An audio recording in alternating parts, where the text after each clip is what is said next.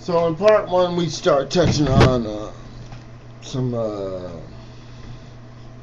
theological type uh, shit about racism. Um, like I was saying, man, it's like if you if you arrest a bunch of white people for 45 years and then tell them they got to obey, you know, the police officers, it's bad. I just saw another video about the guy apparently bragged about he's gonna kill these cops the night before. Some people give up, and I shit you not. I seen it a long time ago in a movie. The guy says, as long as I'm famous before I die, I don't care how I, uh, you know. And can't believe this shit.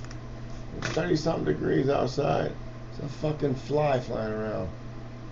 Bastards. I ruined my whole damn video. Fucking around fly. I hate flying. So, um, I, it just pisses me off. It angers me to have to watch these videos over and over again. It comes back to race. A black guy shot some white cops. Who gives a fuck? I don't care anymore. I'm tired of seeing it. I'm tired of seeing cops shooting people on the ground. I'm tired of seeing cops taser people. People are looking for a way out, and the pot is boiling. And like I said, I would not be surprised to see a lot of crime committed by white people in the upcoming months.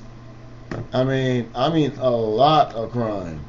You have to look at the, the big picture. I mean, there's a lot of poor people. There's a lot of poor white people. There's a lot more poor white people than there are black people as a whole, rich or poor. And Mexicans, rich or poor. Eventually, these people are going to get to the point and they ain't going to take this shit no more. And they're about to pop. I'm about to lock my door. I'm about to load up like, you know, Ben Cartwright up in this motherfucker and shit. Because it's going to get bad. And it's not going to be just black people shooting police. It's going to be people roaming the streets, taking out people because of this bullshit propaganda shit that me, you, and everybody else on YouTube keep fucking pushing. If we stop fucking talking about race, but you can't stop talking about race. You have to ask the questions why. And why is there racism? Because a group of rich and powerful people want to control poor white people.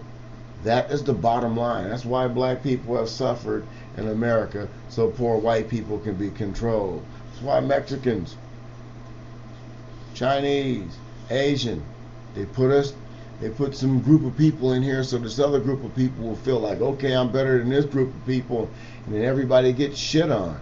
Instead of the people with the same means coming together to build a free society for everybody. You're just as poor as the next fucking black guy. Then what's the fucking difference between black and white? They don't show as much white crime because they want poor white America to feel safe. But the actuality is poor white America isn't safe because of poor black America, poor Mexican America, and poor white America. You see what I'm saying? It's an ever festering movement of bullshit. And poor people are all in the same mix, and the rich people are sitting on here on their fake Mount Olympus looking at us.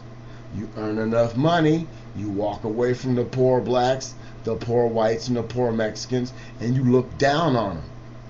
Until you can climb out of that ball where all of us is, trying to survive, to get up where you can look down on everybody and understand that you up there with those who can afford to have no worries, have no race. It's just old money and new money. You got to get in and respect yourself. But these people who control us want the poor white people to believe that they're not poor, one, two, that someone is taken from them, three, that society is better because of them, and four, the problems are placed upon them by those in which they try to better. Get it? Take the fucking hood off and look. And I'm not saying hood like Klan hood. I'm saying the hood like veil covering your eyes. That's where the video gonna get cut. When I say cut? I bet you. I,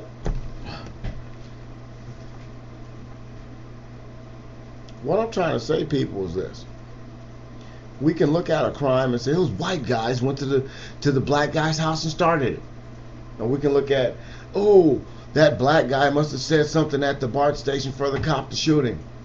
We can all, oh, that poor kid.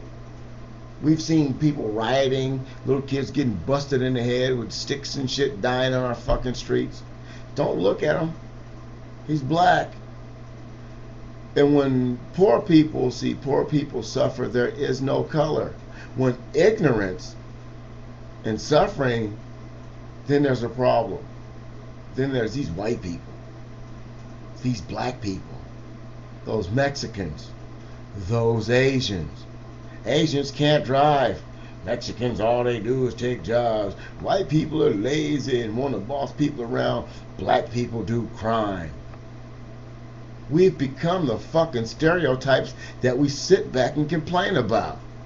We, you, me, and them. The situation won't get any better until we as a people stop bashing each other over color when we're the same people. The only people that are different than us are those people who are making us see differences in us. I'm tired of trying to preach and teach the world and all these people to just look at those who control us. If you don't have no power, if you ain't got shit, you ain't got no control.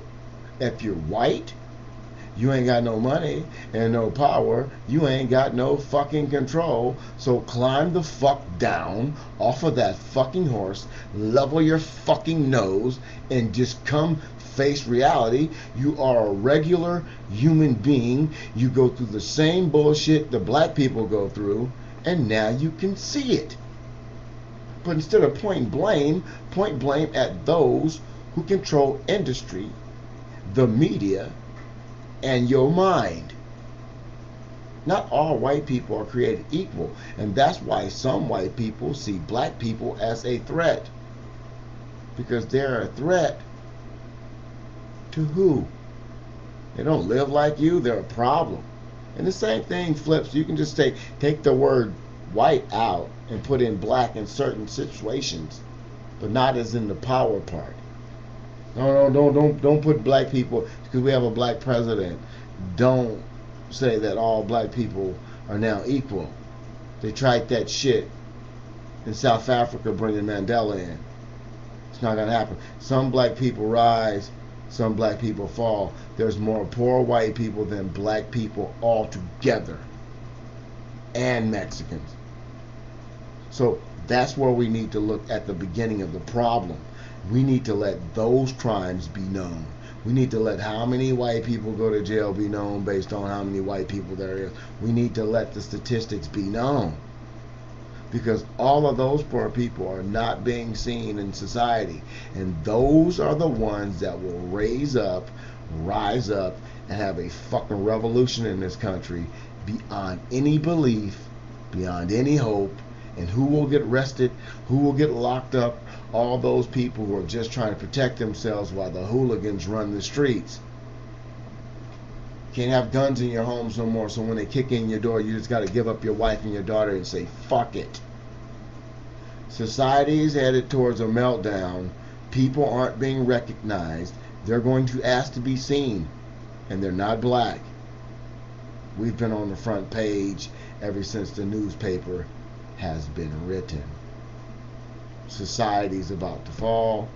It's not my fault that a group of people aren't ready, aren't mad, and aren't fighting those in which they placed in power above them. You've been tubed. It ain't my fault. It ain't my fault. It ain't my fault. Hey!